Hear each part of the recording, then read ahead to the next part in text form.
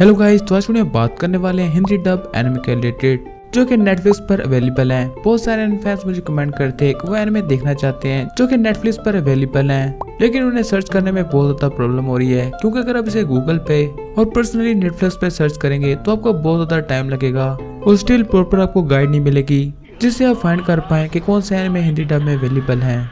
तो इस short video के अंदर मैं आपको प्रॉपर एक्सप्लेन कर दूँगा कि कौन कौन से एनिमे अवेलेबल हैं हिंदी डब में, जो कि आप नेटफ्लिक्स पर देख सकते हैं। तो बिना टाइम वेस्ट किए वीडियो स्टार्ट करते हैं। तो सबसे पहले अगर हम बात करेंगे वेब सीरीज़ के ऊपर तो इस में सबसे पहला जो एनिमे आता है, इसका नाम है बाकी बाकी इस टाइम सबसे पॉपुलर एनिमे है, जो कि हिंदी डब में अवेलेबल है नेटफ्लिक्स पर। तो बाकी के इस टाइम आपको टू सीज़न हिंदी में देखने को मिलेंगे जो इसका नाम है बाकी हकमा और बाकी हकमा पार्ट टू ये दोनों सीज़न आपको हिंदी डब में देखने को मिलेंगे। इसके बाद इस पे नंबर टू पे जो मोस्ट पॉपुलर एनिमे है हिंदी डब में। इसका नाम है लोकिज्म इसका फ़र्स्ट सीज़न आपको हिंदी डब में देखने को मिल जाएगा।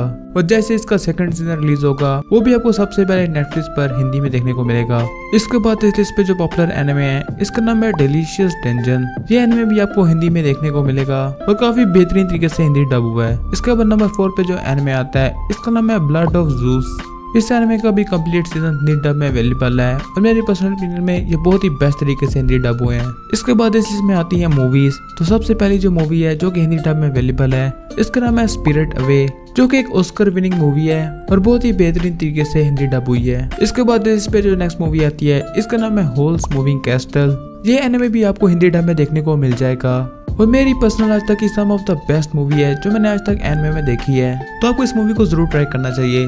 इसके बाद इस पे नंबर थ्री पे आती है। इसका नाम है प्रिंसेस मोनानोके ये मूवी भी आपको हिंदी डब में देखने को मिल जाएगी।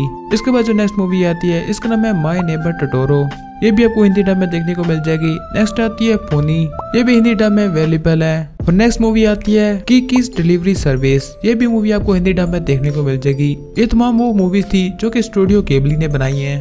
तो अगर आप गेबली स्टूडियोज की मूवीज़ हिंदी डब में देखना चाहते हैं तो नेटफ्लिक्स एक बेस्ट ऑप्शन होने वाला है। इसके अलावा भी कुछ दूसरी मूवीज़ अवेलेबल हैं, जैसे कि black clover sword of the wizard king ये मूवी भी आपको हिंदी डब में देखने को मिल जाएगी। और नेक्स्ट मूवी आती है द ड्रैगन प्रिंस ये मूवी भी हिंदी में देखने को मिल जाएगी। तो ये तमाम मूवीज़ थी जो कि हिंदी में अवेलेबल है नेटफ्लिक्स पे।